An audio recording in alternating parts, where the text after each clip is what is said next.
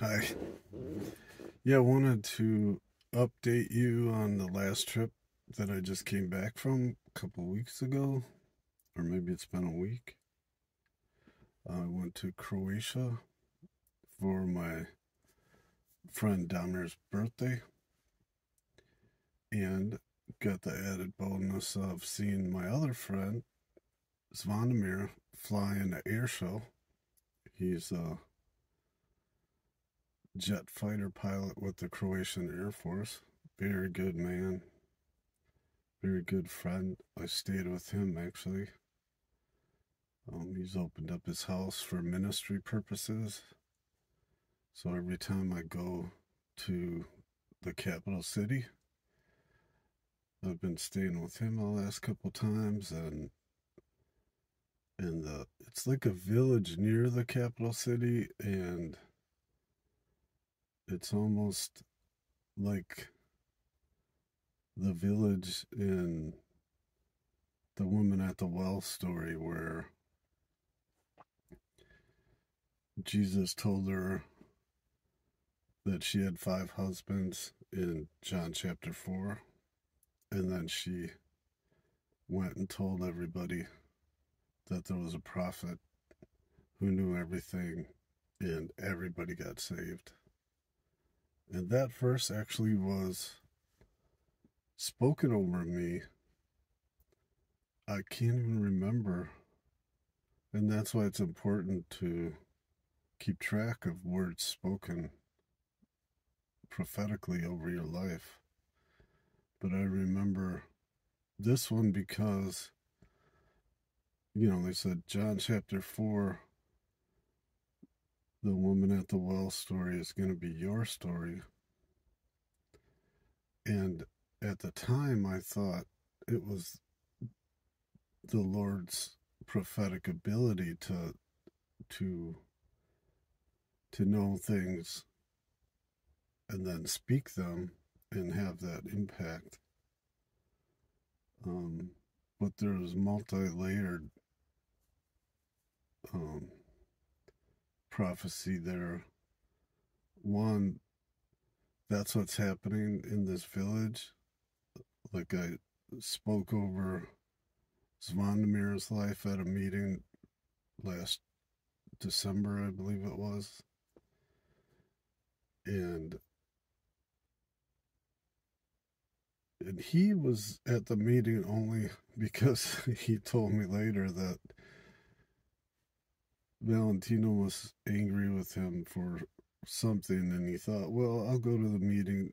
Maybe she won't be so mad, or she'll forgive me sooner, because she always does eventually, because she's an awesome lady. But he went to the meeting and he said, while I was preaching, the whole time I was looking at him. And uh, so then at the end, of my speaking, the you know, I invited them to come forward to get prayed for for healing or words and and just before I stopped, I said, you know, there's somebody here who's stuck and they need to get unstuck. And you know, and I was like, you know what I mean. You don't have to embarrass yourself. Come forward. Just jump in line and I'll pray for you with the rest of them, but make sure you come forward. And he felt I was speaking right to him. And so he did. And now, I mean, it was all God's plan. You know, he was working on his heart and calling him into ministry. So now he's he came with us to Holland and he invites me to his house and we do ministry like till four o'clock in the morning sometimes. But mostly you know three or four in the morning we're praying for people. They just keep coming. We'll go out during the day and minister maybe in homes or or just be out and about and we come back late and there's people waiting to get a word and to get prayed for and and then all day long we'll be sitting at the table out on the front porch and people will come. And it's just amazing that people are so like they heard there's a prophet who can heal the sick and they they want to come and receive. And the majority of them are catholics and god loves everybody. And and has a word for everyone. Like i just get out of the way and it's almost like i'm watching. In in awe and disbelief of how amazing God is and what he's got to say to these people. And you know he backs it up with signs and wonders so they know it's from him. And Paul said we didn't come with clever speech and convince you that our doctrines were true but we came with demonstrations of power so that you would know that it was from God and not from man. And it is so true. like right now the the peace that I am filled with is demonstrable. You know, it's like it's like money. Just put my hands on them and get out of the way and let God do the work. And sometimes people manifest, you know, or, usually I see things and sometimes they manifest and um, I had mentioned in a post that in Colombia I noticed that people were filled what looked like water and then that chapter 4 verse verses came back to me that you know she he said I have something for you to or if you knew who I was you'd ask me for water. And if you drank from this water you'd never thirst again. And he was filled with living water because it says in another verse those who believe in Jesus as the scriptures say out of their innermost being will flow streams of living water. And I believe that's what I'm seeing. But some people are drained down or not full all the way. And when I lay hands on them, I I could see almost immediately how full they are and and then I learned to minister by pouring into them and I can see the water level moving. It's very strange, but very effective and very helpful for me because, you know, in the past I would put my hand on them and the heat would come and and I would look to see what I see in the spirit and have words for them. And now it's it's a little different. Like I was I was praying for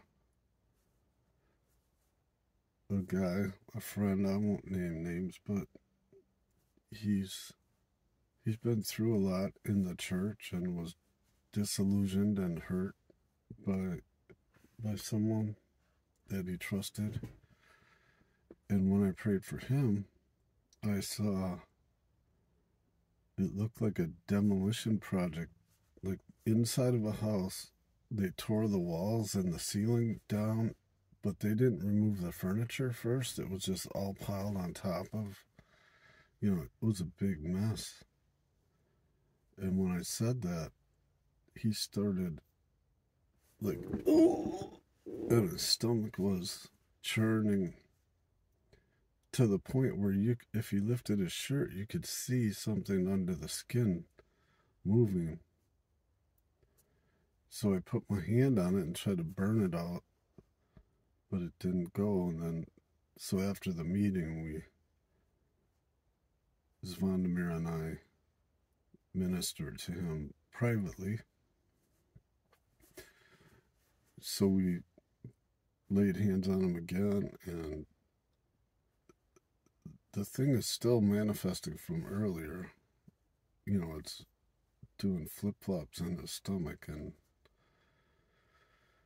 so I told it to leave like multiple times with with authority and and force and applied the heat and it just it wouldn't release. And um, finally after about 45 minutes then i prayed lord what's the why is why are we having so much trouble with this one? Why won't it leave? And i and i got the word on forgiveness. and when i spoke that he started crying and he admitted that he had tried his best to forgive. But after a while, the other people's mocking of the person who hurt him became too much to resist and then he joined the mockers and and really liked it when people spoke evil of the guy who hurt him and you know it just shifted over time it wasn't it was gradual but he admitted that he had went from attempting to forgive and forget to open rebellion and slander and malice and with many tears and, and true repentance he he asked the Lord to forgive him for what he'd done. And then they started coming out. It seemed to be four or five of them. I don't know what they were. Rejection was one for sure, and murder probably, and I don't know. But they came out, and he got free. He's awesome, and he's free. And I love him so much because he's He's a good man, smart man. Um, and he asked me to be a spiritual mentor to him. And of course, I said yes, because the kingdom needs men like him with his heart. If we're gonna, not if we're going to, because we're going to succeed and push this God's agenda forward so that the whole earth is covered with His glory and His kingdom will come in full manifestation, every knee bowing, every tongue confessing that Jesus is the Lord. That's what I believe. I no longer believe in uh, our Savior rapturing us and then the world going to hell and being destroyed. I believe that already happened. The things that were spoken of and mis misunderstood happened when the temple was destroyed in 70 AD. And now we're we're seeing the the prophecies of Daniel coming forward where the enemy was defeated and disarmed. Some were left for a, for a time powerless, yet influencing only in our minds. And uh, now we have a choice to make whether we partner with the thoughts that come from the darkness or the truth that comes from Scripture and our own spirit. His Spirit that lives within us. We have to take every thought captive and stop partnering with demons, lying spirits, unclean spirits. Because when we agree with them, when we agree with the lie, we empower the liar. And we don't want to do that. Give him our power. Another person I prayed for when I was praying, the water level, you know, I saw it started to go up. But then suddenly I was looking at an ocean and it was big waves, rolling waves, like on an ocean. And it was pretty awesome and different from what I'd seen before. But this time, a big storm came. Like the waves started chopping whitecaps, and and then I looked to the right, and the big dark clouds coming, and you could see the rain falling like you do. And I thought there was an interruption, you know, that the the storm was coming to to prevent what we were doing. So I stilled the storm. I told it to stop and go back. And then all the waves got really calm. You know, it was effective. But then I noticed on the surface of the water was an oil slick. Black oil and you know with the rainbow effect from the sun and glimmering off of it. And then i asked the lord how to get the oil slick you know how to deal with that. I thought it was bad and needed to go just like the storm. And he said well i sent the storm to get the oil slick off. And you stopped it and I laughed. And so did the person I was ministering to, and then then I called the storm back. it was it was funny actually. And then the waves got bigger and started cresting and and smashing and the storm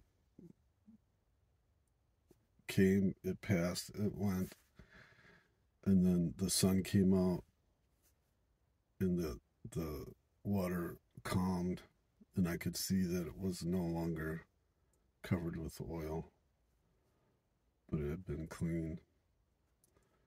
And then I was looking around because you know I wanted to see where it went and I looked to the left and then I noticed it looked like we were on in Cancun out in the ocean off the shore I could see the blue sky and the blue ocean and the sandy beaches. And then suddenly, umbrellas popped out of the sand like mushrooms. And then the heat from the sun came and just just warmed us and and I knew that we were finished. And I looked at the water level inside of her, and she was full to the top, overflowing. And she had a big smile on her face. And so then we went out of the room where we were at, and I went to the to the toilet, and I looked in the mirror, and actually my cheeks were kind of blood or sunburn like they were reddish from from the sun and the spirit. It was. I know this stuff sounds crazy, but it's true. What happened? It's just God has a way, and it's not our way, and it's it's hard to understand and believe, but He finds a way to get us what we need because He knows our every need and He loves us so much. And I'm so grateful to Him for that.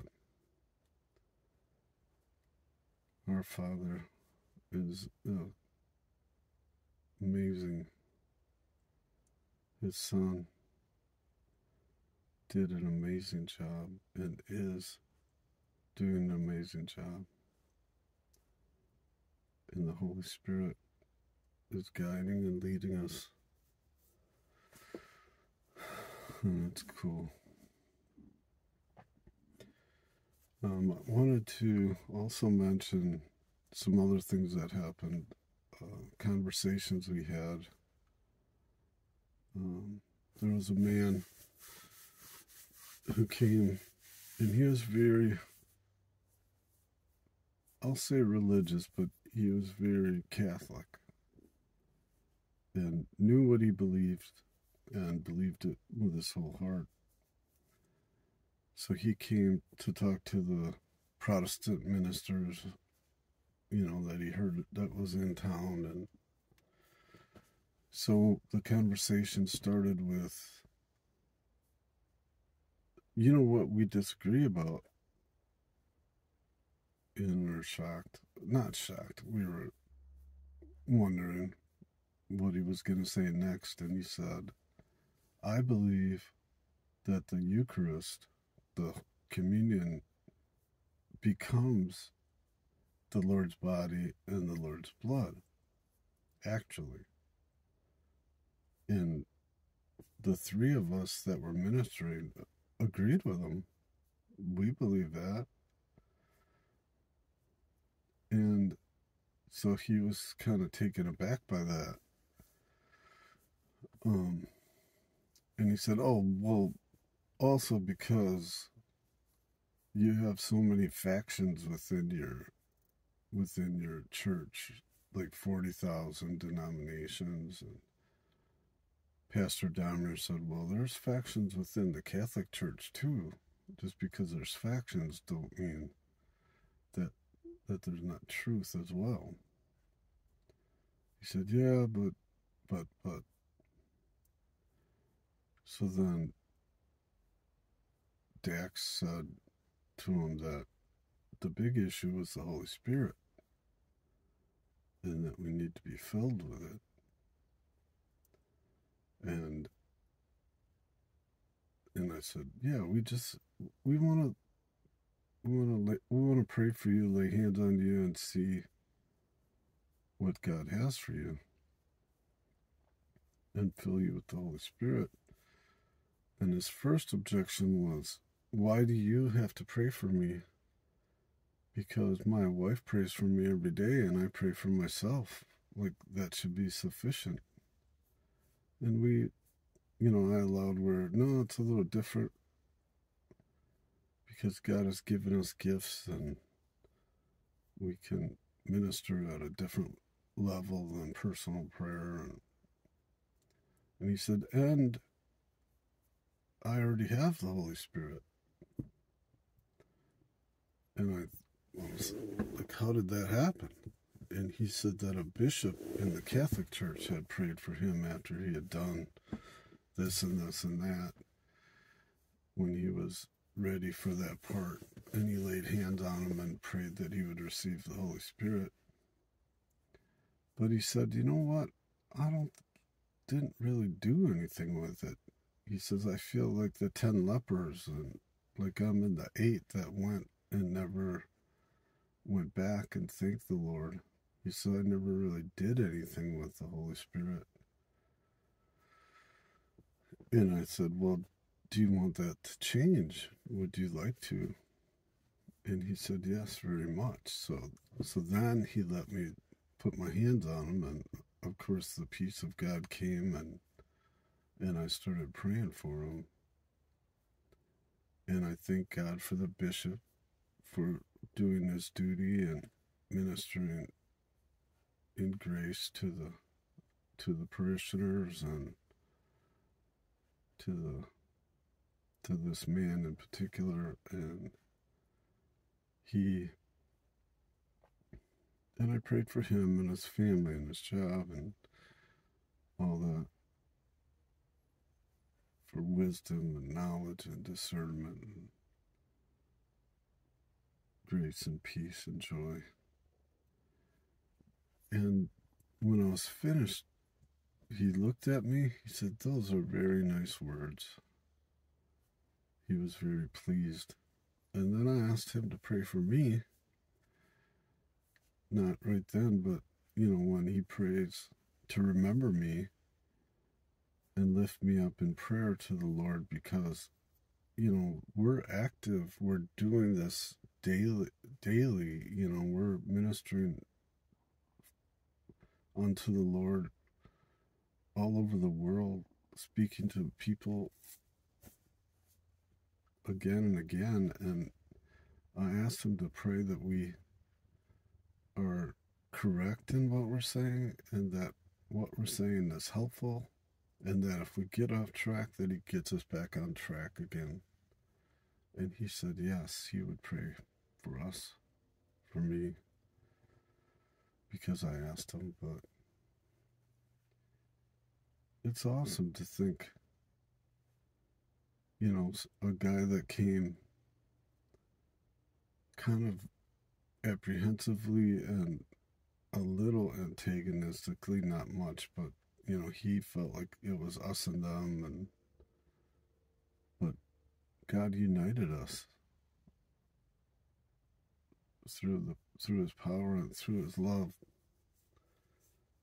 And that was that was amazing, and I thank God for it. Um, I think that's about enough for right now. I got more stories to tell from that trip, and if I get a chance, I'll post another video. Um, getting ready now to head up north with my brother Tony. We're going to visit a friend. My actually my ex-wife's brother moved to the Upper Peninsula. So we'd like to see where he's living so I know how to think of him. And then next weekend we're going down to the Indiana Kentucky border. John and I were going to visit with some friends and minister one on one with a son of a friend who's amazing in his own right and needs healing. And then before you know it, the I'll be traveling back to Macedonia for the fifth, 30th cele- year celebration of the planting of the church in Skopje, the Christian Center 490. be there for four days and then travel to Holland or the Netherlands to minister with a new friend, Nels van Loon, his friends. Be there for a few days and then down to Germany, couple big cities there, two different churches, and then Switzerland for a few days to visit Pastor Damir, and hopefully he can come to Germany, and hopefully his Vandermeer can come to the Netherlands with me. Um, I always like being with my friends, and when they can travel and meet me, that's awesome. We can do things together. And then um, I'm working it out with the airline, see if I can. My ticket back was from Bulgaria with a stop in Vienna, Austria, and it's actually closer to Vienna than to Bulgaria from where I'll end up at the end of the trip. So I'm going to see if I can change my flight and just jump on the second leg of it. They don't usually like to do that, but they changed the time of the takeoff of the first flight to an earlier time, and I, you know, it's like five o'clock in the morning. That means I got to be there at three, and I'm gonna see if I can't change it because of that. That would be helpful. And then we come back November 1st, so I'll be gone a couple weeks. Thank, thank God Meg is a sender and and awesome letting me go and minister because she she can see what God is doing and it was hard in the beginning but it's getting easier and I'm growing and maturing becoming a better man a better husband a better father and she sees that that God is at work like I go and minister but I in the last 10 years, I've changed so much in my heart, in my mind, and how I deal with my own family. And I thank God for that. I, I just see that Christ in me, loving on them, and, and even they are commenting and receiving God's love through their Father through her husband. Thank you, Jesus. Father, I love you. Jesus, I love you. Thank you for the Holy Spirit that guides us. Thank you, Jesus, that you live inside of me and that you're ministering through me in, in strategic ways, advancing the kingdom your kingdom coming and your the Father's will be done here on the earth as it is in heaven. Thank you, Lord. And I just pray for everyone who's listening right now that these videos are helpful, that they're encouraging. And I and I do encourage you to step out and in the sphere that you're in. You don't have to be like me, but just be Christ in you. Acknowledge that His presence is there always, and that you can tap into His heart, His mind, and live fully from that place. And I believe it'll have an awesome impact on everyone around you. You don't have to go. I'm going. If God calls you to go, go. But if you're going to stay, stay in Him or stay acknowledging Him and, and His, what He's like, and be like Him because He's in you, and whatever's not from Him needs to go. And and we should be manifesting the the fruit of the spirit peace kindness joy long suffering all that is available abundant life is available jesus is inside of you and you have access to that reality through faith just believe that's it. Just believe it. And and act according to the truth. And you will be transformed. You have to be willing to change your mind, to renew your mind to this truth. And then the the reality manifests effortlessly. Religion is about conforming like, here's the rules do your best. And here's what you do when you don't do your best. And when Jesus mm-hmm. comes back, or the world we get raptured or whatever, then everything will be put in order. But we can put things in order now. In this life. And it'll look different for each one of you. But it is it is true. It's true in my life and i'm not that special. I was obstinate and i even asked god for a new name one time and he gave me israel and i'm like huh, that's huge what's that you know what's the meaning behind that and it says i looked it up and it's the the one who fights with God. wrestles with God. And he even said that to me at one point. I had mentioned it in one of the other videos when I asked him how long was this trial that I was going through going to go on, and he said, until you quit fighting with me. and at that point, I was dedicated to being the best person I could be. So it didn't feel like I was fighting, I was cooperating with all my strength and with all my might. But that's the old covenant. The new covenant is to love your neighbor as yourself and to love others as he has loved us. And that's what I've been doing, trying to do. And I encourage you to, to do that as well. I love you. Thank you. And I'll talk to you soon.